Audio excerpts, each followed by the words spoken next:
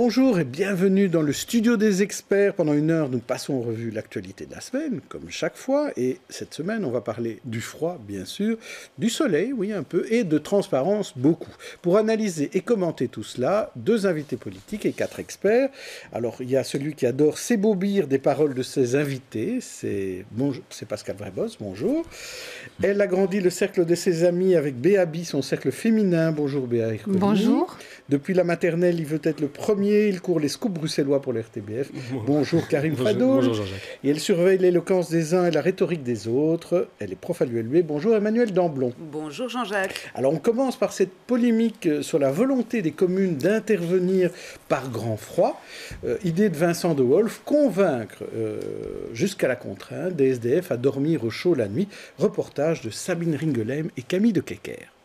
Il reste peu de monde ce matin au chauffoir d'Etterbeek, mais cette nuit, ils étaient une dizaine à avoir trouvé refuge ici. Comme il fait vraiment froid, euh, il y a plus de gens qui, viennent ici pour, essayer, pour se réchauffer, pour essayer de trouver un peu de... pour dormir un peu, faire des siestes. La plupart des hommes et des femmes accueillis avaient été amenés par les services de police, indépendamment de leur consentement.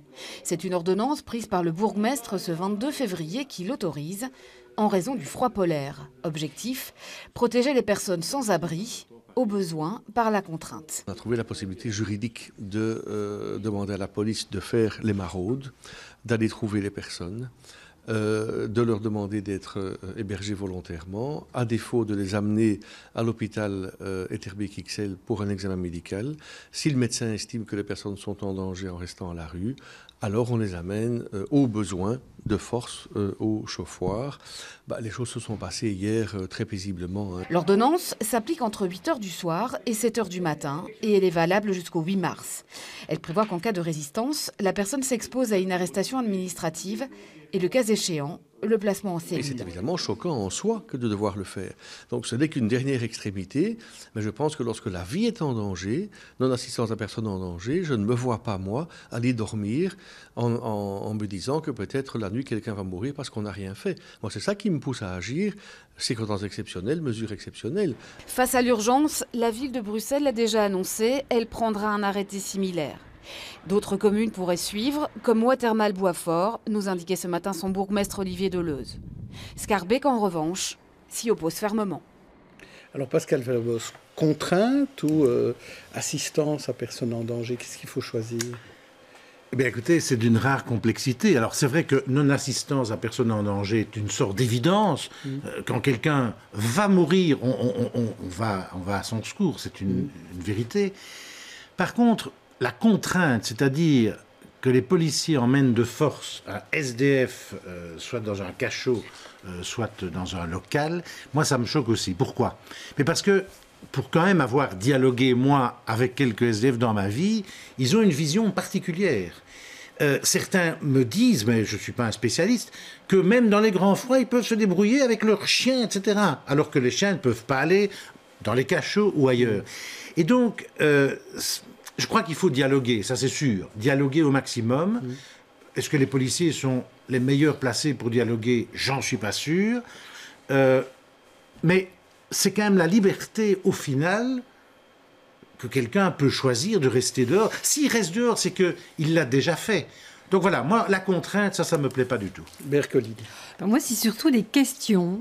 Euh, qu'est-ce qu'il peut faire qu'on préfère rester dehors c'est horrible le froid. Qu'est-ce qu'il peut faire qu'on préfère rester dehors plutôt que d'aller au chaud? Enfin, c'est tout simple. Est-ce que c'est parce qu'il y a des violences? J'ai vu quand même euh, des reportages où une femme expliquait qu'il y avait des violences, qu'elle s'exposait à des violences en allant dans des, mm.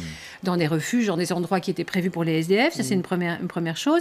La seconde chose, sans être spécialiste non plus, on a tous l'impression qu'il y a une petite frange de SDF. Mm qui sont entre le cas psychiatrique et le franc anard et qui ne veut rien avoir à faire avec cette société. Est-ce qu'on connaît cette population? Est-ce qu'on connaît le nombre? Est-ce qu'on connaît sa qualité entre guillemets. Mm. Est-ce qu'on a fait comme en France? J'ai vu qu'à Paris, on était en train de compter. Euh, est-ce que ce sont des chiffres qu'on a? Moi, j'aimerais savoir ça. Karim Fadou. Bah, les connaît déjà, c'est aller au contact, au contact de ces personnes. Est-ce que les policiers sont à même de pouvoir aller au contact de ces personnes? On a des spécialistes. le SAMU social, au-delà du scandale, mm. il y a quand même mm, dans ce service, dans cette institution, des gens qui connaissent les sans-abri, qui sont en contact avec ces sans-abri euh, quasiment toutes les nuits, et donc qui peuvent peut-être trouver la meilleure solution, en tout cas celle qui, qui convient le mieux. Euh, est-ce qu'il faut passer par des arrêtés, de, des arrêtés du bourgmestre et donc des, mm. des mesures coercitives pour inviter, pour, pour forcer un sans-abri à quelque part, euh, quelque part éviter le froid? Et puis ça tombe en, fin février, alors que l'hiver a commencé, euh, je le rappelle, il y a quelques, quelques semaines déjà. Pourquoi les températures étaient très très basses D'accord, elles l'ont également été un peu mm. avant. Pourquoi est-ce qu'on attend maintenant mm. Pourquoi est-ce que pourquoi est-ce que c'est uniquement, euh, uniquement la nuit Toute une série de questions auxquelles on n'a pas de réponse. C'est peut-être l'occasion de les poser peut-être à Vincent de Wolf. Emmanuel Damblon.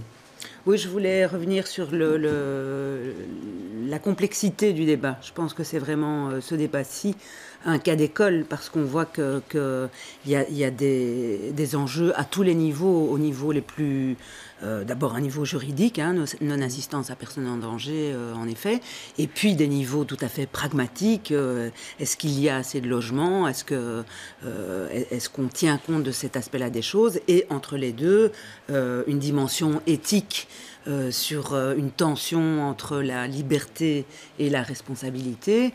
Et donc on, voit bien que plus le débat est complexe, moins il y a de chances qu'on trouve euh, une solution simple. Et alors une toute petite... un petit commentaire, il n'en a pas été question là dans le sujet, mais j'ai entendu à la radio tout à l'heure qu'on parlait de sans-abrisme. Mhm. c'est-à-dire un néologisme que je trouve personnellement un petit peu malheureux parce qu'on a l'impression qu'il y a qu'on est militant euh, du sans-abri, comme on est, euh, comme il y a le socialisme ou le fascisme, et ça me paraît pas tellement recouvrir justement euh, la réalité, c'est-à-dire, à mon avis, personne ne milite pour être sans-abri. Eh bien, on va demander l'avis de nos invités politiques, on va voir s'ils ont des réponses aux différentes questions que vous avez posées.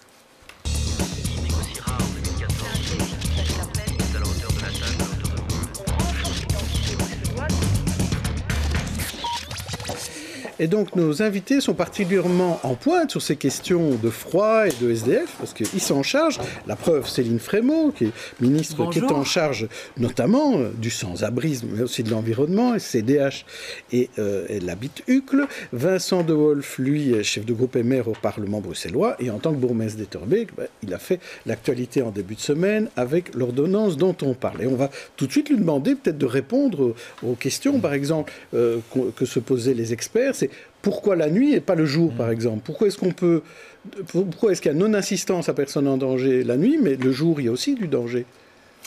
Mais parce que, tout d'abord, moi j'ai pris une mesure tout à fait exceptionnelle et limitée à une période dans le temps aussi exceptionnelle de froid polaire qui avait été annoncé et qui s'est déroulé. Euh, et qu'on sait très bien que les SDF, durant la journée, n'ont aucun problème pour s'abriter. Pourquoi? Parce que les stations de métro sont ouvertes, parce que les magasins sont ouverts, que les centres commerciaux sont ouverts, et que donc euh, dans la journée, euh, vous pouvez interroger n'importe quel SDF, il vous dira toujours qu'il n'a pas un, danger de froid majeur en journée. Mmh. De toute façon, le, chauffoir est ouvert, par exemple chez nous également la journée. Hein. autre euh, question, c'était est-ce que les policiers sont les plus indiqués à intervenir? Est-ce que finalement on ne devrait pas laisser ça au SAMU social ou à d'autres qui ont l'habitude de faire des maraudes? C'est une bonne question, mais la réponse est facile parce qu'il est de la déontologie de l'assistance sociale des gens du SAMU, de ceux qui se dévouent et des volontaires, de, n'obliger personne, évidemment.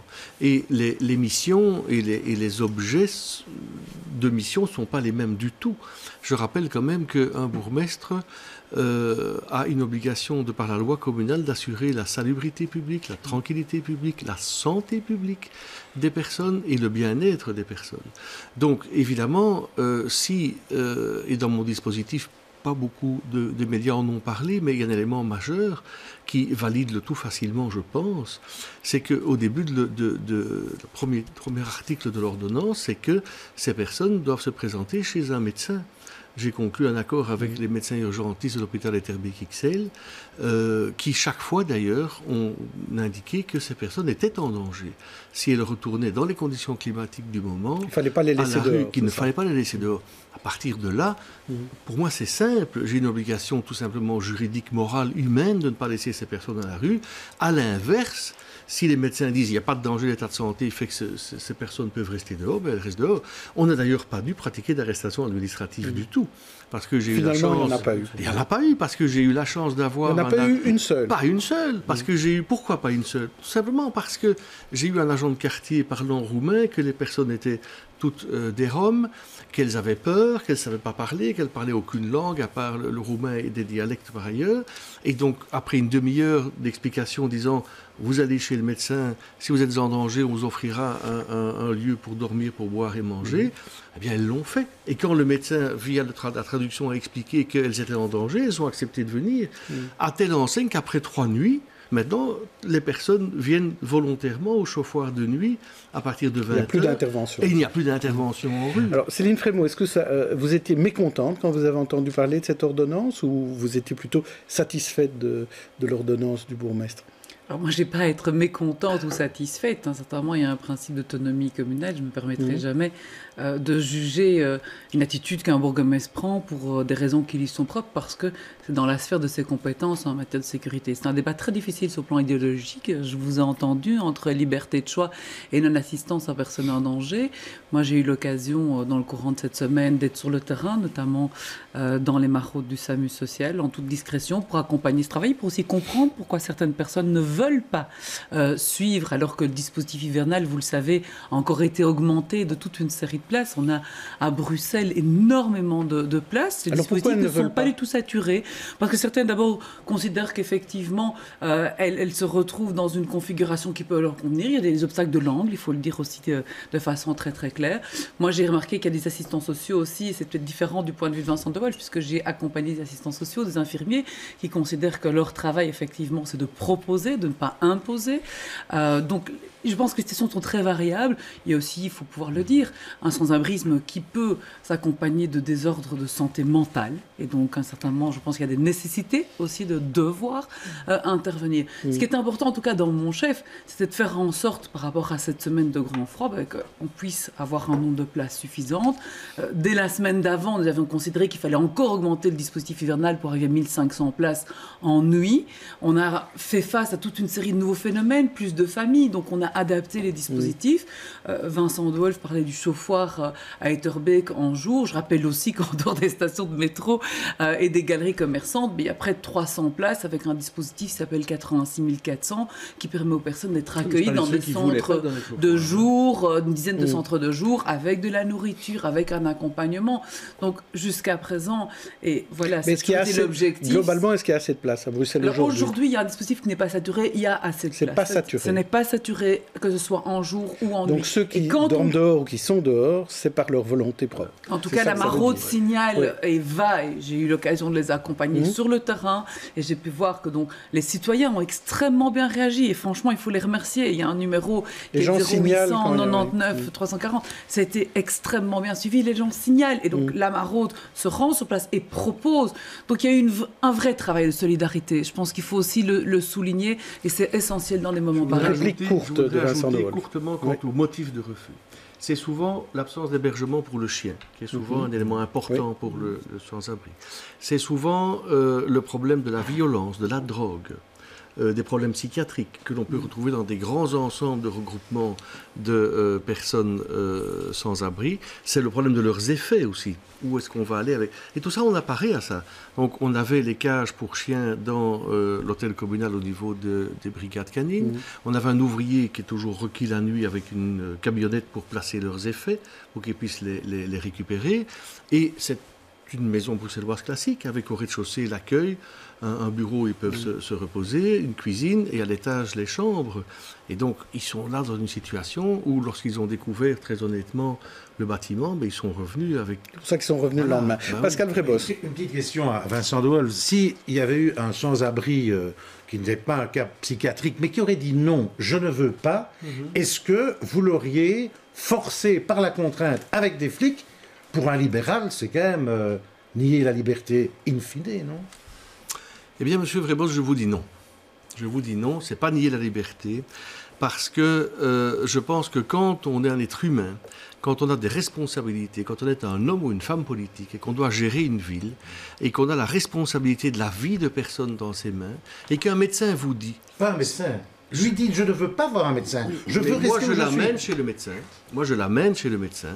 Et si le médecin dit cette personne est en danger, j'ai l'obligation, et morale et juridique, de sauver cette personne.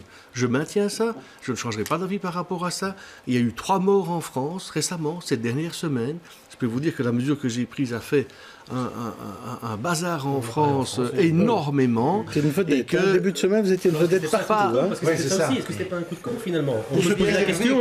la question. hein. Je- Parce qu'on se demande pourquoi est-ce qu'on pas pensé à cette mesure euh, Oui, les années c'était la, précédentes la question. Oui, pourquoi, pourquoi il a Alors- fallu attendre Alors d'accord, il y a eu un froid polaire cette fois-ci, mais des froids euh, rudes. La réponse de Vincent de Wolf là-dessus. Donc la réponse est très simple. Tout d'abord, euh, dans le passé, j'ai eu un cas euh, d'une dame qui logeait euh, au euh, parc du cinquantenaire sous un arbre. hein. Elle avait, avec des cordes, tiré les branches basses de l'arbre pour se faire place, Vous y retrouvez sur place d'ailleurs. Mm. jour-là. voilà. hein. Et donc, c'est une dame qui, par la force, a été amenée par les euh, forces de l'ordre, mais Mhm. c'était un cas différent, Mhm. parce que c'était un cas psychiatrique. Et donc, on a appliqué la procédure qu'on appelle Nixon. Ok Alors, non, c'est pas du tout un coup de com. C'est pas du tout un coup de com. Pourquoi? Mais très simplement, parce que moi, j'ai pas communiqué là-dessus. Euh, du tout. Je veux dire, on a fait ça. Le- qui a communiqué Je vais vous expliquer. Mais, Attendez, il faut, il faut aller un peu plus vite. mais, euh, non, parce que on a bah, d'autres bah, je vais. bah, c'est possible, mais écoutez, moi, je dis Allez, je vous laisse répondre. Voilà, donc j'ai eu la surprise de constater que la Croix-Rouge a communiqué sur le fait qu'un chauffoir avait été ouvert à Etterbeek par leurs soins. Et c'était pas vrai, c'est nous qui l'avions ou- ouvert. Et les, les responsables locaux de la Croix-Rouge m'ont contacté en disant Hé, nos responsables régionaux, ça ne va pas, ils récupèrent un truc que vous avez fait. Et alors nous avons rectifié les choses, on n'avait pas communiqué. ça que vous avez fait. sorti Mais oui, c'est tout. Alors, et, alors, et, et ça a pris un développement que moi, j'ai pas du tout imaginé. J'ai pris une mesure ponctuelle que j'estime justifiée. Dont acte. Céline Frémaux, si vous étiez bourgmestre d'Ucle, demain par exemple, est-ce que vous feriez euh, ce genre de choses-là? De- Devant le cas de, dont, dont parlait Pascal vais qu'est-ce que vous dites à la autrement. Je vais personne vous répondre, ça va faire un lien avec la réponse précédente. Il y a d'autres bourgmestres qui, cette semaine, ont pris des dispositions Différentes, similaires, euh, Ouais. ou en tout cas Ouais. différentes. Certains l'ont fait avec d'autres types de nuances par rapport à des publics plus fragilisés. Donc je remarque quand même qu'il y a en tout cas une majeure partie de- de- d'entre eux qui ont plutôt enclenché la mesure à Charleroi, dans dans d'autres villes, peu importe d'ailleurs les tendances politiques. Je peux vous assurer qu'il y a des bourgmestres qui l'ont fait, qui n'ont pas communiqué dessus. Parce qu'ils ont été eux-mêmes confrontés à un cas très précis, euh, à Mm. toute grande proximité de chez eux.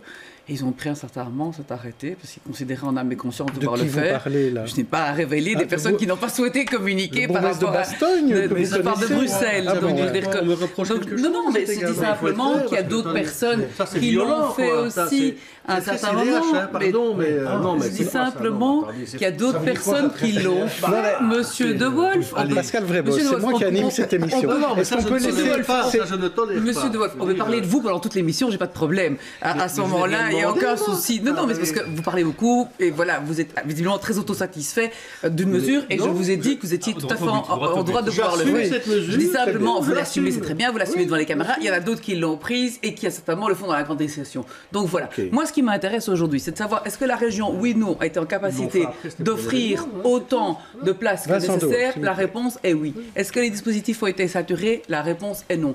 Est-ce que la question du sans-abrisme est traitée autrement à Bruxelles qu'elle n'avait été traitée pendant les années avant La réponse est oui. Et j'ai entendu Mme Ercolini qui s'interrogeait sur la question du recensement à Bruxelles. Ce travail a été fait notamment avec infirmiers de rue. Parce qu'il y a aussi une ordonnance qui va arriver euh, d'ici très peu de temps au Parlement bruxellois qui réforme, notamment suite au SAMU euh, social et au scandale de ceci, la vision du sans-abrisme à Bruxelles qui était une vision essentiellement orientée urgence. C'est ça aussi hein, euh, ce qui s'est passé cette semaine. C'est-à-dire qu'est-ce que nous sommes en capacité, nous politiques, aujourd'hui d'offrir en termes d'insertion au logement? Il y a un dispositif qui s'appelle le Housing First à Oui, Bruxelles. qui est qui à plus fonctionne long terme, c'est ça. oui, attention.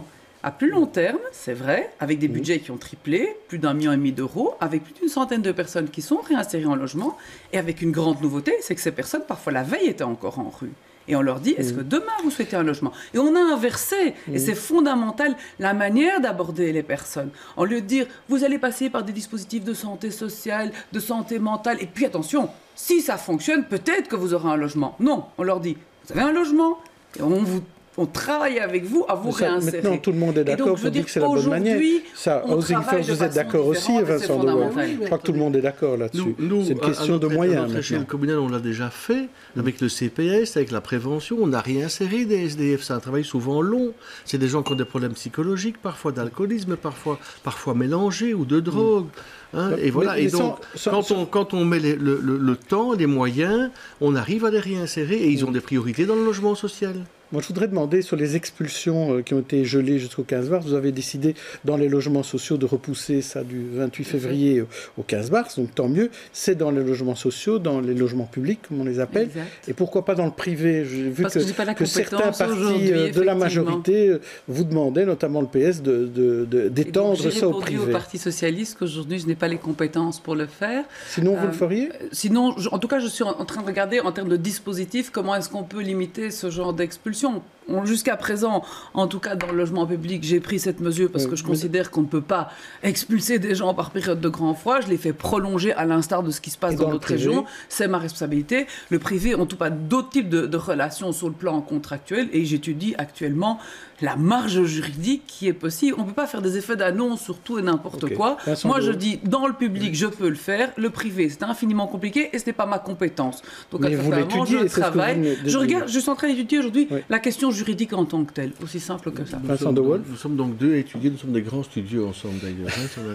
on a siégé ensemble dans la commission logement dans une autre vie. Euh, parce que je suis en Toujours train... ensemble, mais dans une autre configuration aujourd'hui. Voilà, Oui. c'est ça. Et donc, euh, moi, j'étudie effectivement le- la possibilité de déposer une proposition d'ordonnance en ce sens, parce que je ne comprends pas pourquoi, euh, indépendamment, indépendamment de l'aspect juridique, qu'il y ait une différence au niveau de la protection humaine euh, durant les- les- la période hivernale. Et donc, je crois que ce serait correct. Donc le, le maire Ce serait- soutiendra Ce cela. serait donc. correct que, euh, également, dans le privé, cette disposition s'applique. Fut-il que la région soit- compétente? Alors, vous- Mais oui, je dis, indépendamment de l'aspect juridique qu'il faut vérifier. Tout à fait.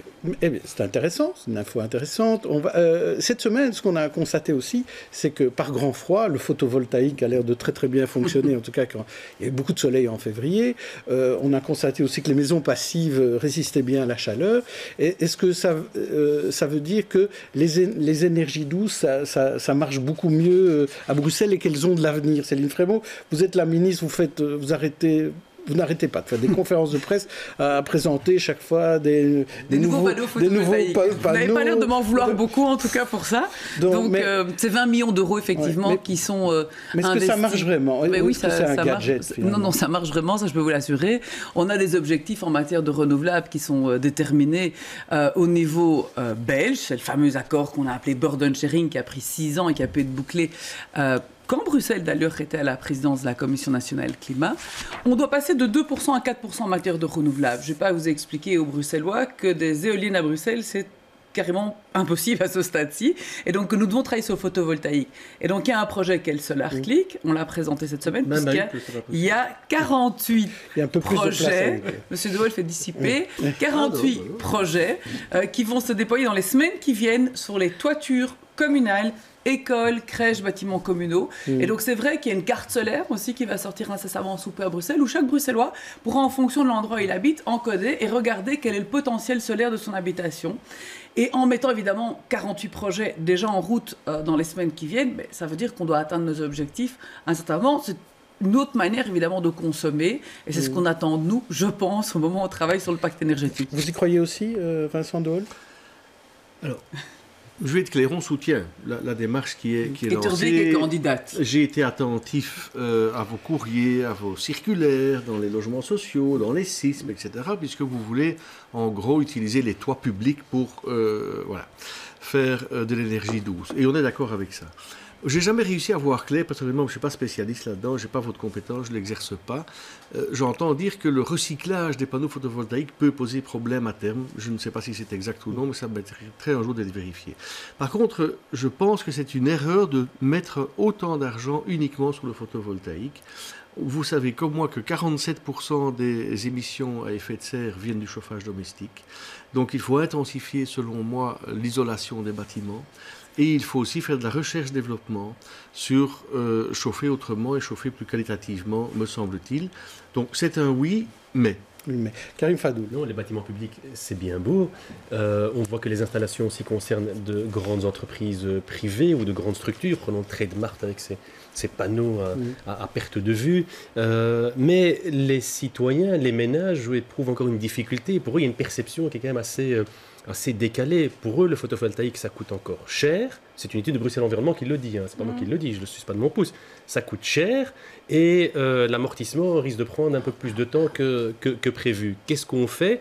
Pour le particulier pour l'inciter à mettre du euh, photovoltaïque sur ses. Sur ses Est-ce qu'on a vu ce qui s'est passé en Wallonie Exactement. il y a une cacophonie, pendant un certain nombre, de, certain nombre de mois. Alors nous, le dossier du photovoltaïque, on a la chance à Bruxelles de le maîtriser. Mhm. On sait qu'aujourd'hui, une installation est rentable en 7 ans de temps. On a couplé ça avec d'autres types aussi de parce que j'entends parler effectivement du chauffage via euh, l'intervention de Vincent De Wolf, mais si vous prenez les primes énergie, audit, isolation, chauffage. Donc ça, c'est très très clair par rapport à cet objectif-là. Ce qu'on remarque aujourd'hui, c'est qu'il y a demande et que ça se démocratise aussi énormément le photovoltaïque. Il y a une grande enseigne, euh, et je ne la citerai pas, euh, qui euh, vend du photovoltaïque, je dirais entre guillemets, avec les surportes. Il y a une demande très forte. Hein. Donc moi, je peux vous le dire pour être largement sollicité, même parfois via, via mon site internet, expliquez-nous où, quoi, comment. Il y a un intérêt majeur. Les citoyens bruxellois se rendent bien compte, c'est un manque et un retour effectivement après 7 ans. 7 ans, mais 7 ans, c'est beaucoup. 7 ans, c'est beaucoup, mais c'est garanti à Bruxelles. Donc je veux dire, on ne va pas se plaindre à ce niveau-là. Il y en a qui ont eu d'autres surprises dans d'autres régions. C'est un investissement départ, je suis d'accord avec vous, mais c'est vrai qu'à un certain moment, si vous mettez les choses en place, et ça vaut la peine, et c'est pour ça que cette carte solaire est fondamentale, mais je crois que très rapidement, vous allez en avoir des bénéfices. Mais c'est une manière aujourd'hui aussi de concevoir la ville de demain. Donc on ne peut pas non plus s'extasier toujours sur des films qui nous montrent des villes idéales avec des énergies renouvelables et pas y participer. Donc nous, je trouve qu'en tout cas, on a un rôle d'exemplarité majeur par rapport à cette question-là. on verra à quoi ressemblera la ville de demain, en tout cas la ville d'aujourd'hui. C'était mardi, par exemple, c'était une ville embouteillée. Euh, de quoi relancer la pollution automobile. Bruxelles était engluée de voitures euh, suite à plein de problèmes euh, mardi, dont une grève. Mais exactement, Vincent de Wolf était absent de, de, M. Il était présent au Bruxellois de l'année, mais par contre, Céline Frémont n'a pas pu arriver, elle. Donc vraiment, reportage. Dans la route du SAMU. voilà, reportage Christophe Durand. Lundi et hier.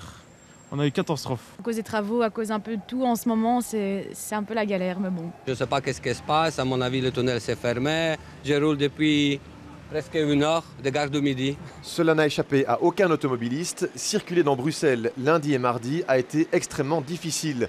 Des soucis majoritairement liés à la grève mardi, mais lundi, les automobilistes ont été surpris par la multiplication de leur temps de parcours. Lundi a démarré euh, dans le tunnel Béliard un chantier qui implique qu'une bande euh, est soustraite à la circulation. Maintenant, nous avons aussi l'impact du froid. Des personnes renoncent évidemment à se déplacer à pied à attendre le bus ou à prendre le vélo, euh, ça peut aussi augmenter le nombre d'usagers de la voiture.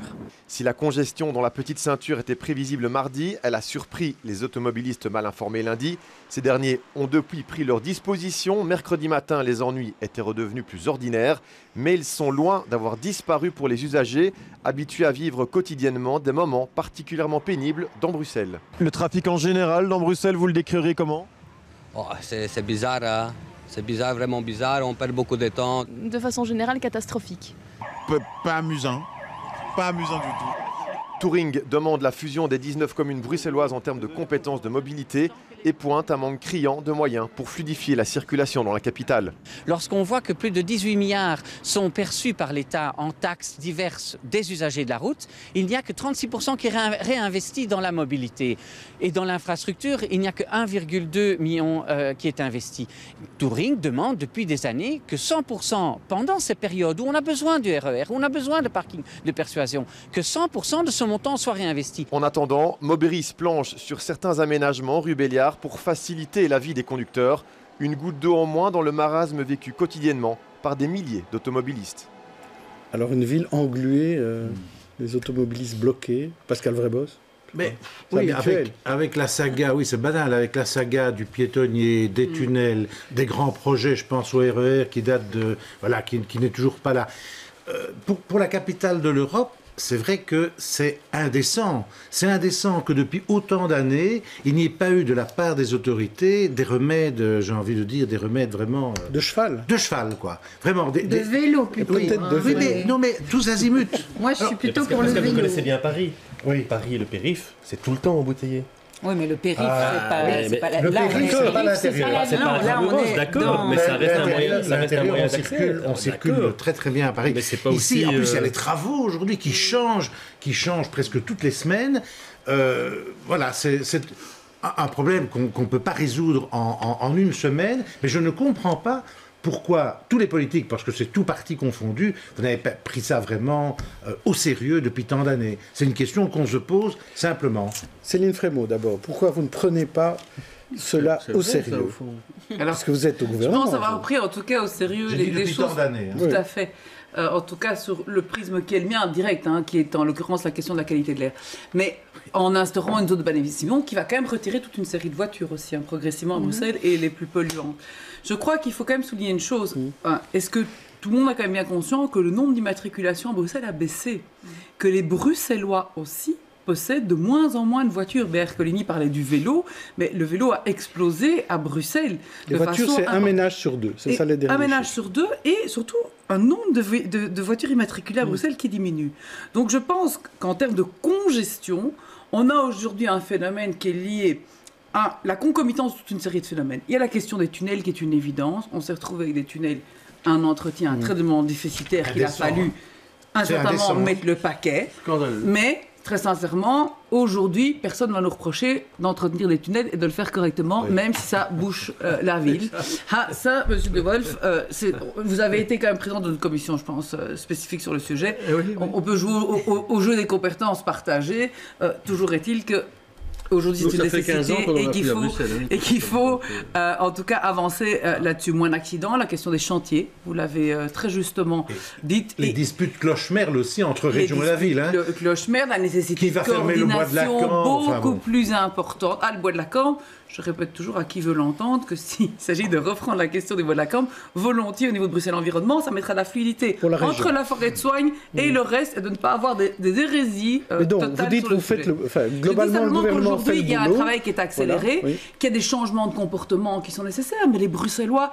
Enfin, je voudrais quand même qu'on rappelle que les Bruxellois sont attentifs à cette euh, dynamique-là. On reste une capitale aujourd'hui avec un nombre très important euh, de nafteurs, avec la question du RER qui est fondamentale, et avec la question, excusez-moi, du régime de voitures de société. hein. Un jour, il faudra quand même que aussi, à d'autres niveaux de pouvoir, n'est-ce pas, Monsieur De Wolf, on prenne la compétence à- à bras le corps et qu'on se rende bien compte que la question des voitures de société à Bruxelles, aujourd'hui, a une influence extrêmement négative sur la qualité de l'air, extrêmement négative en matière de mobilité. Vincent De Wolf.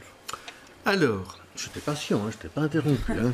Mais comme moi non plus en début d'émission. euh, donc, donc, donc, ce que je voulais dire, rapidement, c'est important. Mm. C'est vrai que euh, les véhicules, c'est beaucoup les nafteurs, euh, plus que les bruxellois.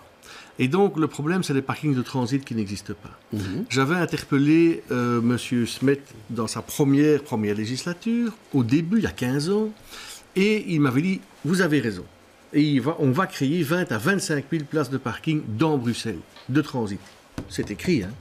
Il y en a 1600 aujourd'hui.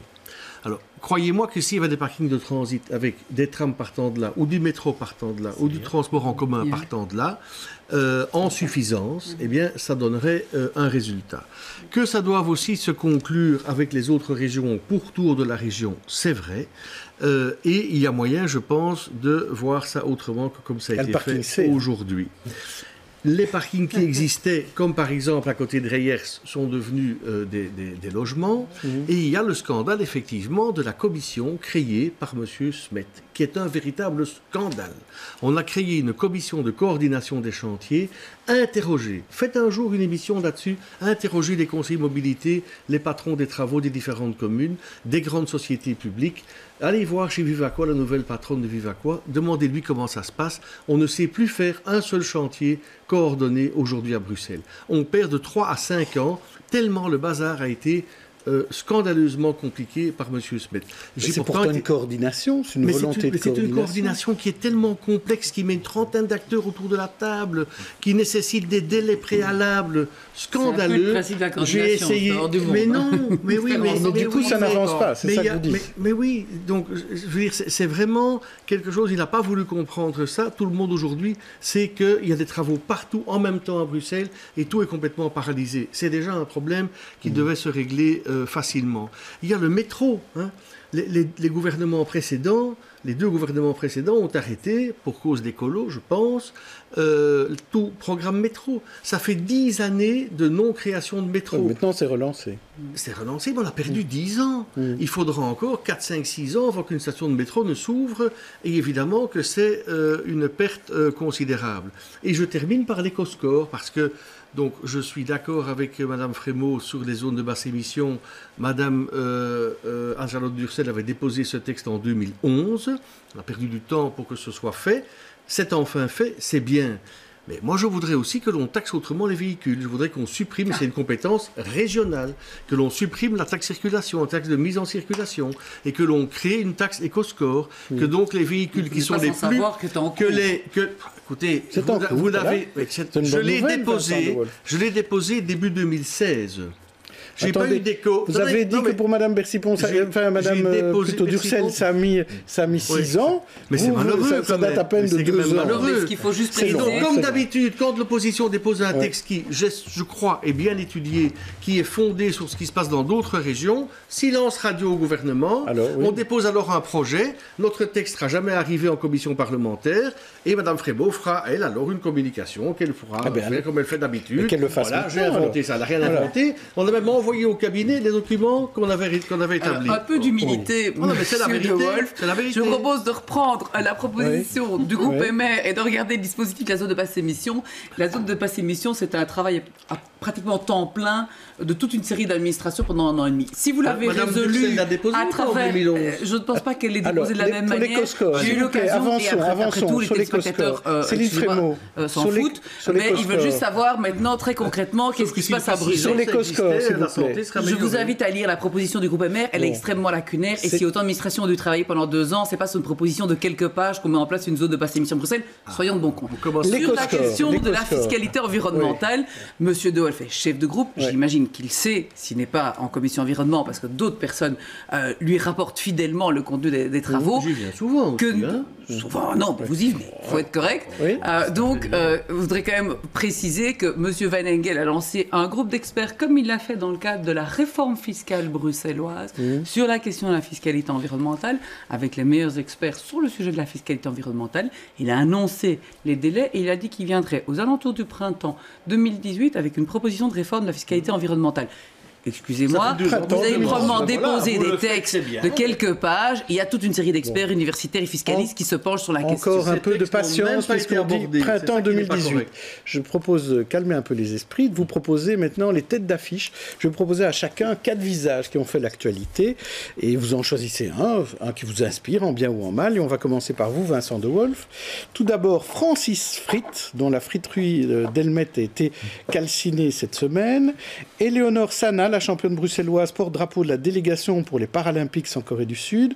Roland Van Reuzel, l'ex-commissaire en chef bruxellois qui reconnaît avoir gonflé les chiffres de certaines manifs. Ou Hugo Claus, l'écrivain disparu il y a 10 ans, qui bénéficie d'une grosse expo à Beaux-Arts. Alors, Francis, Éléonore, Roland ou Hugo? J'hésite entre Francis et Eleonore parce que je trouve que ce sont deux situations qui méritent beaucoup d'intérêt. Mais allez, je prendrai peut-être euh, le- la personne qui a perdu sa friterie. Voilà, Francis, donc voilà. Et Francis, il y a beaucoup de solidarité autour de lui qui s'organise d'ailleurs. Alors vous, euh, Céline Frémaux, quel est votre choix? Je vous propose Mehdi Kassou, dont la plateforme citoyenne a été couronnée au Bruxellois de l'année, Bart Swings, le patineur médaillé euh, d'argent au JO, Mark Cook, qui arrive cette semaine à la tête d'Anderlecht, ou encore une amie de Vincent de Wolf, Clémentine Barzin, la nouvelle échevine maire à la ville de Bruxelles. Alors qui choisissez-vous Mehdi, Bart, Marc ou Clémentine? Sans hésiter, Médicassou, parce que je pense que il a euh, très courageusement, euh, au départ, fait face à une situation qui était euh, pas du tout maîtrisée. Je crois que ce qu'il a réussi avec la plateforme citoyen, c'est inédit en Europe. Je pense qu'il le fait avec beaucoup d'humilité, que le cœur des citoyens bruxellois bat, en tout cas au rythme des actions euh, de ces citoyens hébergeurs dans la plus grande discrétion. Je crois aussi, et Etterbeek est peut-être une commune d'exception, qu'il y a toute une série de, de, motions contre les visites domiciliaires qui ont été euh, votées à Bruxelles, et c'est certainement euh, en partie grâce à la mobilisation euh, qui est la sienne et des bénévoles au parc Maximilien. Donc je trouve que l'action qu'il mène est remarquable, mais surtout parce qu'elle est portée par des citoyens avec beaucoup de cœur et en toute discrétion. Ben, moi, j'ai vu Vincent de Wolf applaudir quand Médicasso a gagné aussi le, le prix du Bruxellois de l'année. Euh, Pourtant, la motion les... contre les visites domiciliaires a été rejetée à Etterbeek. Non, le vote a été interrompu. On va ah. poursuivre ça le mois suivant. Ça alors il faut rectifier euh, l'état des lieux des communes qui circulent Non, partout. il faut rectifier les éléments qu'on vous a communiqués dans votre groupe, à mon avis. Ah, c'est pas dans mon groupe, c'est sur Twitter. En fait, donc, donc l'idée, c'est que vous allez reprendre le débat sur les visites domiciliaires Etterbeek quand il y aura le texte fait, fait, qui sera proposé au fédéral, c'est ça? Non, donc en fait, euh, l'amendement a été déposé. Euh, L'amendement a été voté et le vote a été interrompu. On n'a pas voté sur le texte finalisé. Et Par euh, manque de on temps. va... Non, parce que, parce que la volonté politique était de poursuivre le débat et qu'on va remettre ce point à l'ordre du jour au prochain Conseil communal. Très bien. Alors on va parler de transparence. Maintenant, on parle toujours de transparence avec Transparencia, mais en plus, c'est un sujet de la semaine, euh, notamment parler des ASBL communales et, et, et autre chose. J'ai d'abord deux questions pour vous, vraiment qui nous viennent de notre partenaire Transparencia, qui nous envoie chaque fois une question par, euh, par invité. Alors Céline Frémaux, pour vous, depuis quatre mois, Transparencia vous demande le détail des subsides reçus et distribués par la Société régionale du logement, la SLRB. Vous dites que vous n'en disposez pas alors que vous recevez un double de chaque dossier de la SLRB, pourquoi ne pas rendre public euh, ces chiffres de subsides Alors Claude Archer, en l'occurrence, que j'ai rencontré... Qui anime Transparencia. Qui anime Transparencia et qui a eu un rendez-vous d'ailleurs à mon cabinet. Pour ça, tant qu'à être transparent, autant l'être oui. totalement, euh, que j'ai rencontré. Euh, C'est très bien que je n'ai aucun souci à transmettre tous les documents que je peux avoir aujourd'hui. Simplement, la demande, visiblement, de Claude Archer porte sur toute une série d'années bien avant le fait que je sois ministre du Logement et nécessite donc l'engagement d'énormément de personnes pour répondre à cette demande. Mais il sait très bien que par rapport à ce qui est aujourd'hui demandé sur ce que je possède moi depuis que je suis ministre du Logement, je n'ai aucun souci à faire toute la transparence. Donc c'est livre ouvert pour peu que. Ah non, mais moi j'ai toujours été très clair. Je pense qu'aujourd'hui, de toute façon, état de cause, c'est ce que les citoyens attendent par ailleurs. Très bien, bien il viendra voir chez vous. Euh, alors, il est déjà venu, vous savez. Donc... Eh bien, il reviendra. Euh, Vincent De Wolf, en tant que chef de file de l'opposition, la question est seriez-vous prêt à reprendre immédiatement la main en déposant avant Pâques un texte qui élargisse les pouvoirs de la commission d'accès aux documents publics? Normalement, c'est la majorité qui devait s'en occuper. Euh, pour l'instant, euh, ce n'est pas le cas, ça n'avance pas. Est-ce que vous reprendriez la main là-dessus, avec notamment euh, une possibilité que cette commission dépende du Parlement plutôt que de dépendre de la région? Je crois que c'était une de vos idées. Oui, Madame Frémaux va encore dire que je parle d'Etterbeek, mais écoutez, dans le plus grand secret, euh, le, euh, le, groupe Transparencia et la presse oui. avaient jugé une série de euh, ou d'hommes ou de femmes politiques ou plutôt d'institutions politiques. Et j'ai eu la surprise très heureuse, on en est tous très fiers parce que c'est un travail d'équipe, c'est un travail avec les fonctionnaires et c'est un travail qu'on a fait depuis déjà dix ans. on a été classé largement premier dans l'ensemble des communes.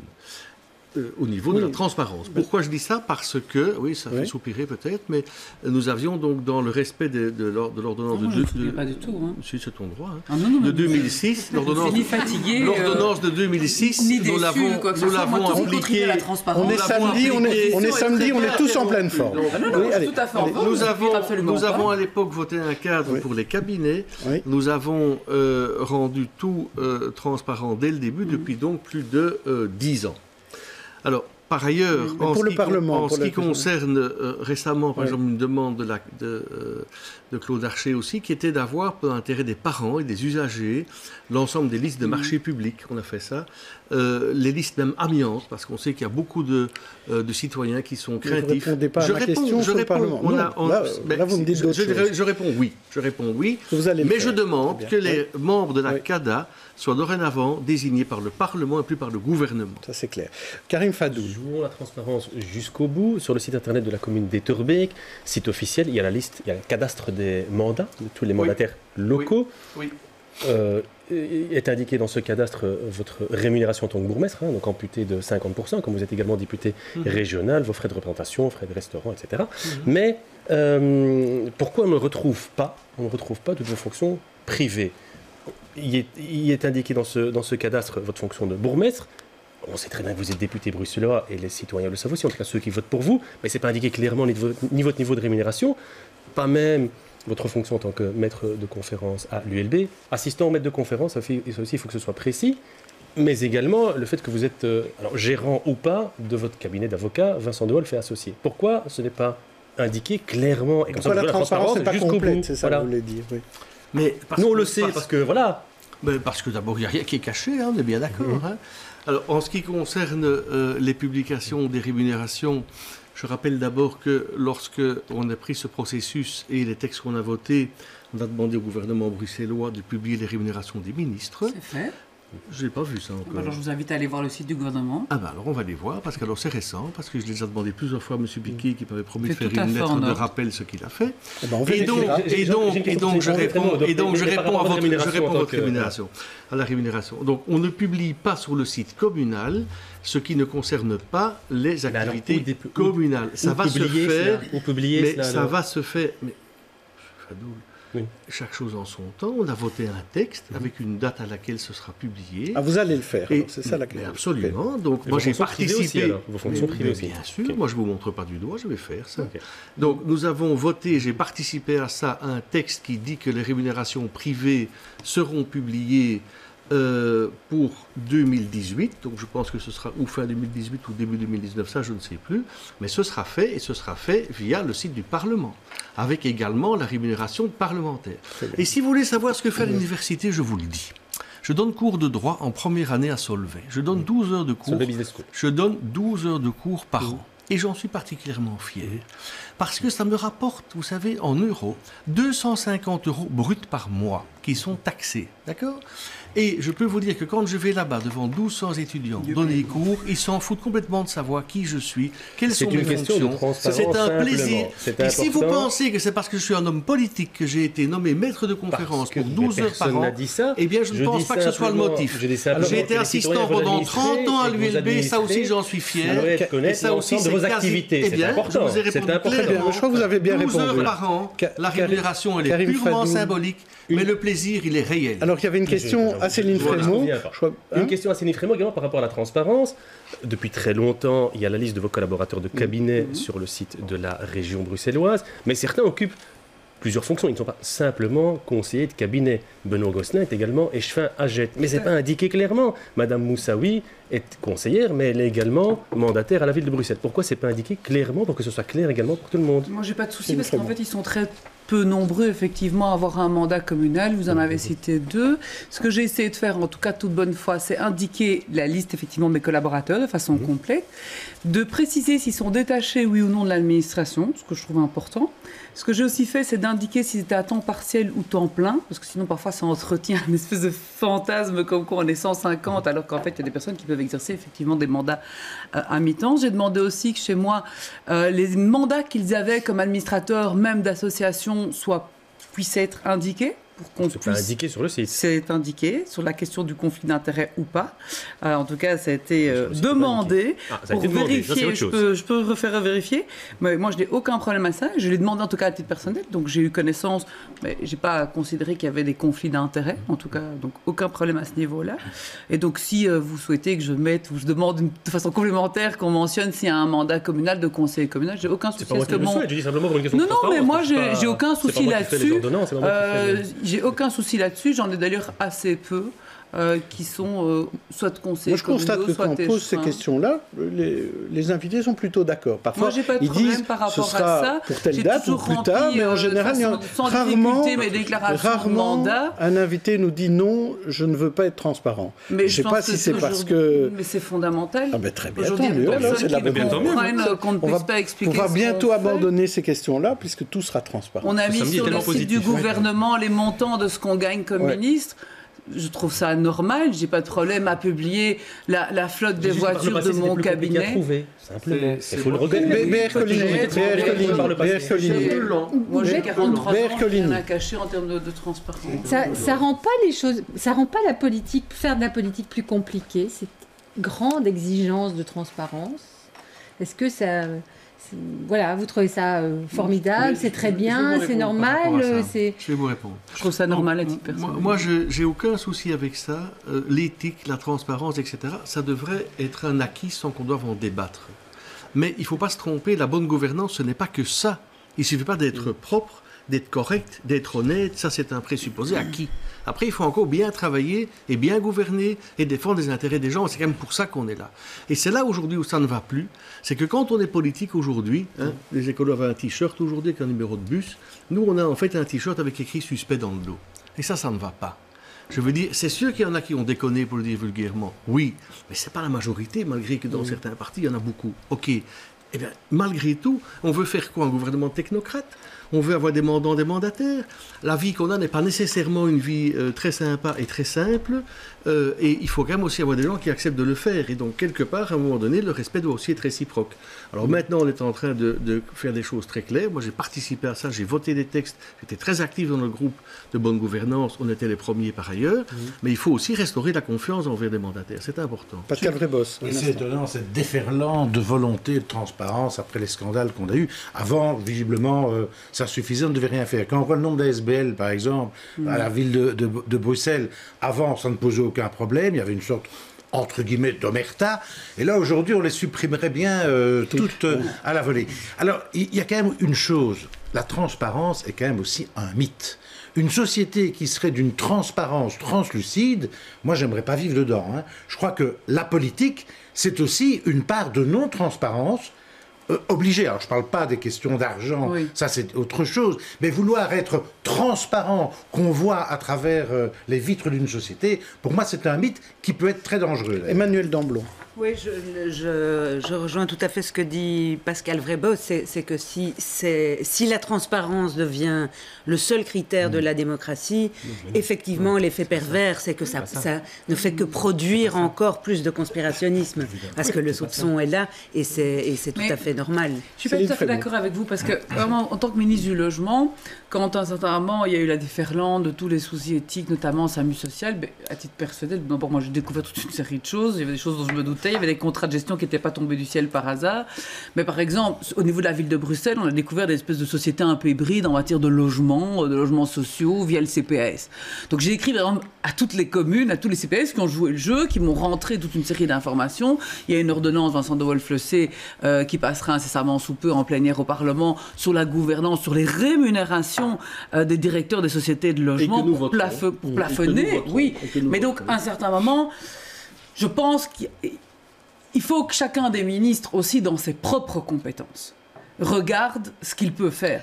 Plafonner instamment les rémunérations des directeurs de CISP, quand vous avez des gens qui gagnent au-delà de ce qui est raisonnable, et ça ne se justifie absolument pas, qui arrivent avec des anciennetés, Non, notamment de la ville de Bruxelles, Frémaux, ça ne fonctionne plus. Oui, mais je veux dire, il y a beaucoup de choses aussi qu'on a ignorées. Moi, je n'en sais strictement rien, monsieur Vrébos. Moi, je vous dis qu'il y a des choses que j'ai découvertes.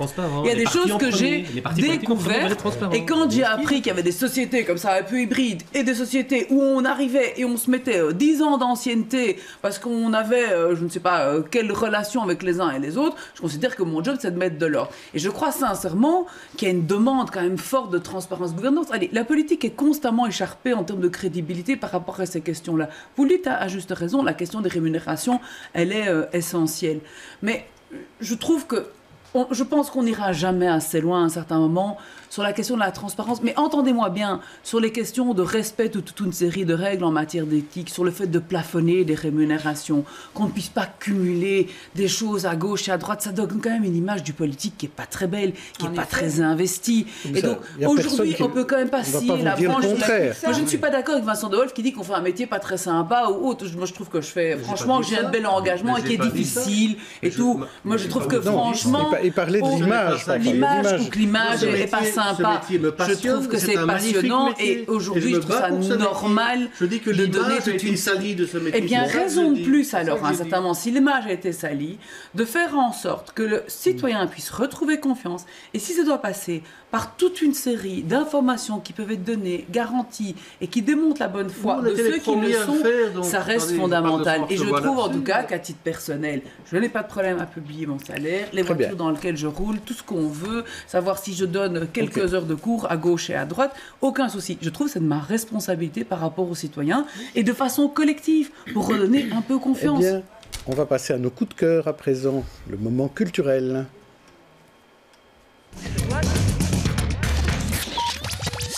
Quand je dis culturel, c'est pas tout à fait le cas parce que Pascal Vrebos, vous allez nous parler d'éducation finalement. Oui, éducation aux médias. Alors pourquoi? C'est parce qu'il y a un ouvrage européen qui vient de sortir de Sylvie euh, Condette, très intéressant. Alors pourquoi je parle de ce bouquin? Euh, ben, Tout simplement parce que l'éducation aux médias, hélas, euh, n'est, pour ainsi dire, absolument pas dans le scolaire, qu'on devait en parler dans le fameux cours de citoyenneté, mais comme vous le savez, ce cours de citoyenneté... euh, est devenu un cours de, enfin bon, de, de pas grand-chose, d'une heure et encore dans un réseau, et que l'éducation aux médias, je pense qu'aujourd'hui, je pourrais en parler pendant des heures, mais je pense qu'aujourd'hui c'est très très important pour que les citoyens soient de plus en plus éveillés, les jeunes et les moins jeunes. Donc ça s'appelle Éduquer aux médias en Europe et c'est euh, donc Sylvie ouvrage collectif, Condette, oui. Alors, euh, BR Coligny, vous, on- euh, la semaine prochaine, qu'est-ce qui se passe? Il y a un grand événement, comme chaque année. Chacun son t-shirt. Ah, voilà. Voilà. Donc, euh, cette semaine, enfin la semaine qui Ouais. vient, le 8 mars, la journée internationale des droits des femmes, et pas la Saint-Valentin des meufs, la journée des bonnes femmes, etc. Euh, et le 8 mars, c'est aussi... Non, mais c'est important parce qu'il y a des entreprises, par exemple, qui trouvent très intelligent de fêter leur personnel féminin en leur offrant une rose. C'est pas la question. Qu'elles La leur offrent journée des secrétaires, quoi. qu'elle- peu voilà, c'est ça. Qu'elle leur offre par exemple une entrée euh, au, au Forum Jump. Donc au Forum Jump qui a lieu le 8 mars et qui, aux dernières nouvelles, est quand même la première journée de formation euh, à l'égalité euh, hommes-femmes dans l'entreprise. C'est quelque chose, c'est la 12e édition. Donc Isabella Lenarduzzi, elle est pionnière là-dedans. Euh, elle en organise maintenant aussi à Paris, à Lyon. Voilà.